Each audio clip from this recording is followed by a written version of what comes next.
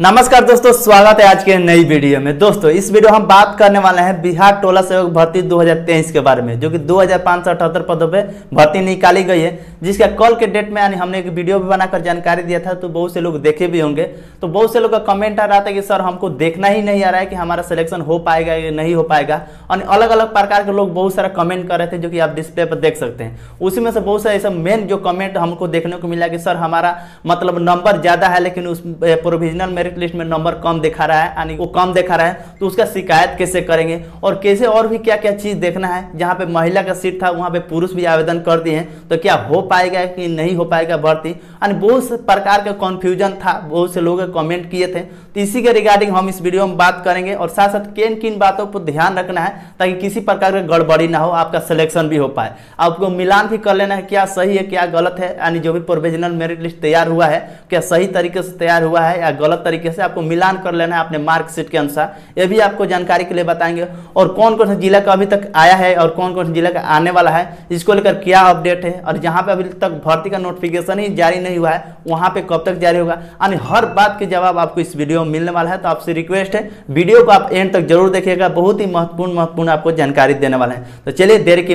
करते हैं वीडियो को स्टार्ट वीडियो को आप लाइक ज़रूर कर लीजिएगा, क्योंकि आप लाइक नहीं करते हैं तो हमें अच्छा नहीं लगता है। तो वीडियो को लाइक करके और ज़्यादा से ज़्यादा शेयर करिए, ताकि और लोगों के पास ये वीडियो जाए और उनको जानकारी मिल सके। चलिए वीडियो करते हैं, स्टार्ट।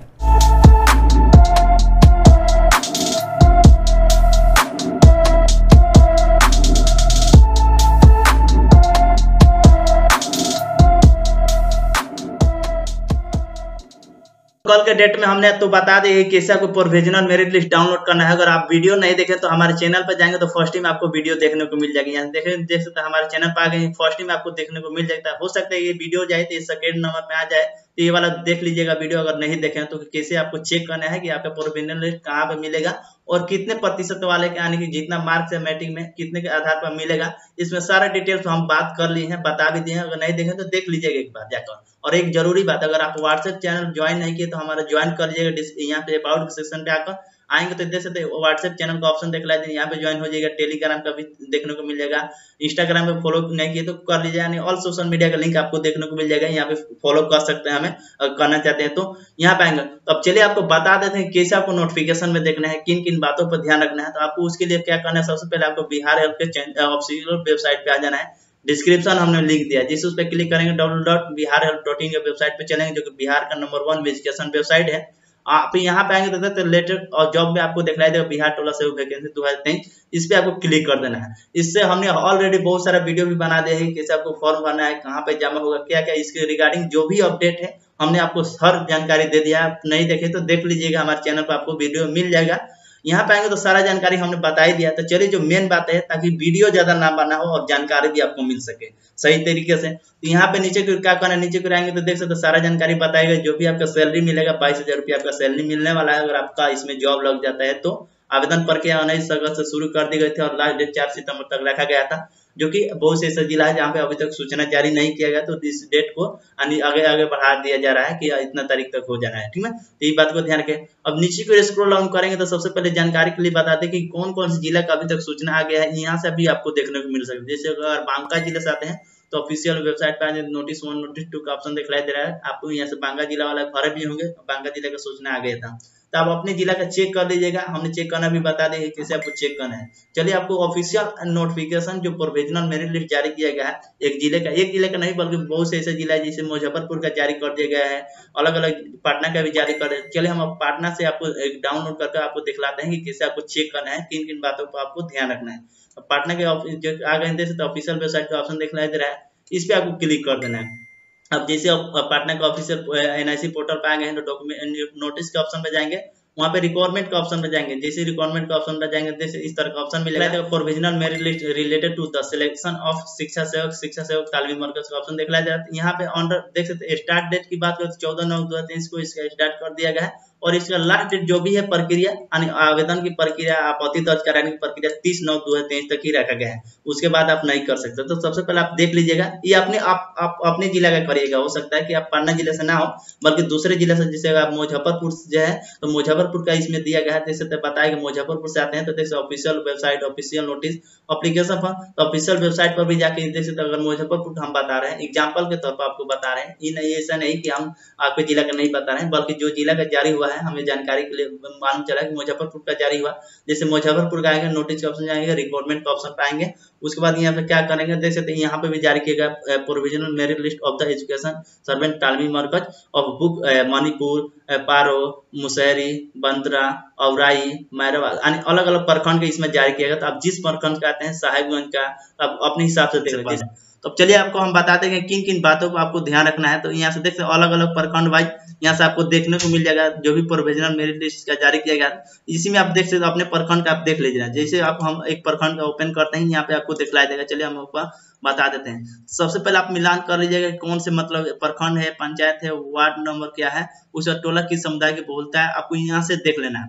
उसके बाद आवेदक आपको अपना नाम मिला है जो भी आपके मैट्रिक के मार्कशीट पे जो भी नाम है आप इस नाम में मिला लीजिए, कोई गड़बड़ तो नहीं देखा है माता पिता का नाम में भी आपको देख लेना है, महिला, पुरुष उसके बाद जन्म तिथि आपको मिलान कर लीजिए अच्छी तरह से, क्योंकि बहुत से ऐसे स्टूडेंट है क्या उनका जन्म तिथि टाइपिंग करते वक्त या किसी, जो भी आप फॉर्म बने उसमें गलत कर दिया गया तो इस आधार पर भी आपका नहीं हो सकता है सिलेक्शन तो आपको जन्म तिथि भी मिलान कर लीजिएगा। उसमें मैट्रिक में कितने मार्क्स का एग्ज़ाम हुआ था तो 500 मार्क्स का हुआ था। आप इसमें भी देख सकते हो, उस जो ही उन्होंने मार्क्स 500 का हुआ था, उसमें कितना नंबर आया है तो इन्होंने 416 नंबर आया है, उसका प्रतिशत आपको देख लेना है। सेकेंड बात इस बात को ध्यान रखेगा जो भी आपका मार्क्स आया है, यानी कि जो भी मैट्रिक में आपका एग्ज़ाम हुआ था, कितना आपने नंबर लाया और कितना आपका प्रतिशत बन रहा है आपके हिसाब से? आपको जो भी अगर सही हिसाब से सबसे पहले प्रतिशत आपको देख लेना। हो सकता है कि कहीं टाइपिंग करते वक्त गलत हो गया है या किसी प्रकार दिक्कत हो सकता है। ऐसा नहीं कि कुछ मशीनरी चीज़ से भी हो सकता है तो भला इंसान बनाया है। तो आप इसमें देख लीजिए कि प्रतिशत सही ढंग से टाइपिंग किया गया है ना। तो आपको प्रतिशत मिलान कर लेना उसके बाद अनुभव के आधार पर आपको ये देखेंगे तो किसी का भी मतलब अनुभव के आधार पर नंबर नहीं दिया गया है। तो हो सकता है कि जो फाइनल मेरिट लिस्ट आए उसमें अनुभव के आधार पर नंबर दिया गया है। हो सकता है बहुत से ऐसे जहाँ प्रखंड देखने को मिल रहा है। हमने देखा है नोटिफिकेशन तो उसमें अनुभव के आधार पर भी नंबर दिया गया है। तो आप अगर अनुभव किए हैं, अगर आपका अनुभव है एक साल का तो आप सभी लोग पता ही कि दस नंबर दिया जाता है और वहीं पे छह महीना का है तो पाँच नंबर दिया जाता है। तो हो सकता है अगर नहीं दिया होगा इस प्रखंड के अंतर्गत तो हो सकता है कोई से कैंडिडेट का अनुभव ही नहीं होगा तो वो नहीं दिए होंगे तो नहीं मिल रहा होगा। हो सकता है अभी नहीं मिलेगा, हो सकता है फाइनल मेरिट लिस्ट आए तो उसमें भी अनुभव आधार पर जो नंबर दिया जाता है विभाग तरफ़ से दिया जाए। तो इस बात को देख लीजिएगा तो इसमें जो भी हम प्रखंड के खोले हैं बेटा प्रखंड, इसमें किसी भी कैंडिडेट का मतलब अनुभव के आधार पर नंबर नहीं दिया गया तो हो सकता है नहीं मिला होगा। उसके बाद कुल अंक आपको इसमें देख लेना है, कितना है, उसके बाद यहाँ से देख लेना अभियुक्ति का ऑप्शन जो दिखलाई दे रहा है यहाँ पे आपको ध्यान देना है कि बात है कि क्या रखा गया। देख सकते इनका बताया गया, जैसे फ़र्स्ट कैंडिडेट का हम देख रहे हैं, जिनका यानी कि 500 मार्क में सौ सोलह मार्क्स लाए हैं, उसका, उनका जोड़ा जाए, प्रतिशत है, तिरासी दशमलव दो प्रतिशत इसमें दिखा रहा है। तो आप देख लीजिएगा अपने यहाँ से बताएगा निवास क्षेत्र के अंतर्गत आता है। ये बात आप समझ सकते हैं, यानी कि जो इन्होंने आवेदन किया है, जहाँ पे भर्ती आई है, महिला के सीट के अंतर्गत वही आवेदन किए हैं तो इनका दिखला रहा है निवास क्षेत्र के अंदर आता है। और दूसरे कैंडिडेट का देखेंगे तो देख सकते विपिन कुमार है जो कि इनका नाम दिया गया है डेट ऑफ़ बर्थ दिया गया है मैट्रिक का एग्ज़ाम कितना का हुआ था कि, कितना नंबर इन्होंने लाया है और कितना प्रतिशत है।